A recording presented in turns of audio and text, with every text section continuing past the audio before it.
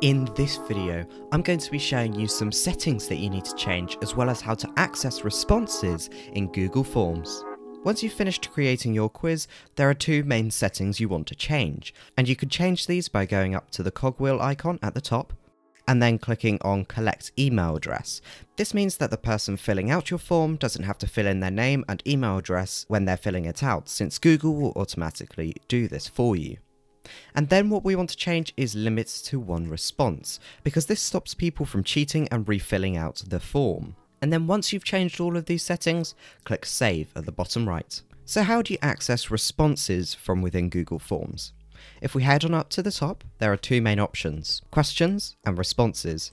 Click on responses and it will give you three subsections, summary, question, and individual. Summary will give you a general overview of what questions students got right and what they got wrong. Question will go through each question and show you what people got right and got wrong. And then individual will show you each individual person who filled it out and what they put as their answers.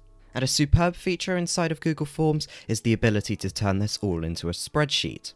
To do this, what you want to do is head on up to the Google Sheets icon up here, and if you click on it, and once it's open, it will give you all of the information you need to know inside of a Google Sheet.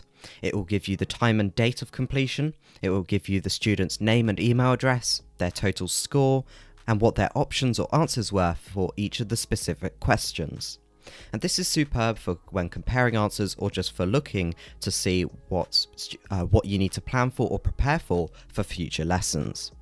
So now what you want to do is you want to learn how to share your Google Forms, and you can do that by clicking on the video on screen now. Thank you all so much for watching, and I'll see you soon.